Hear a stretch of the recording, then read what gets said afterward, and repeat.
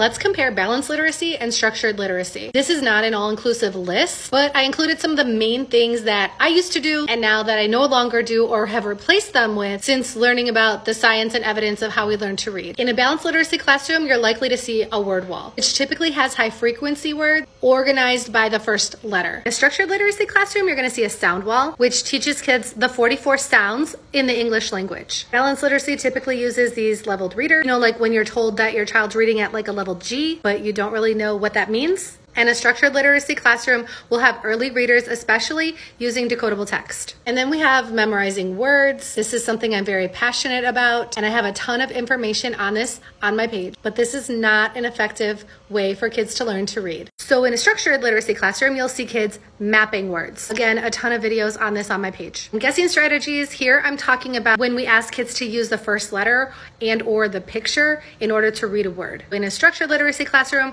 you will see kids learning decoding skills and using the features of the word in order to read the word. Okay, and then word shapes is those word coffins, like the tall letters and the long letters and the short letters, and there's boxes for those letters. Sound boxes are what we use when kids are mapping words, and they're putting each sound in a box and then spelling those sounds. And guided reading, which is typically based on those levels I talked about earlier, versus having a skills-based small group where you're assessing phonics skills rather than levels, and then teaching those skills in those groups.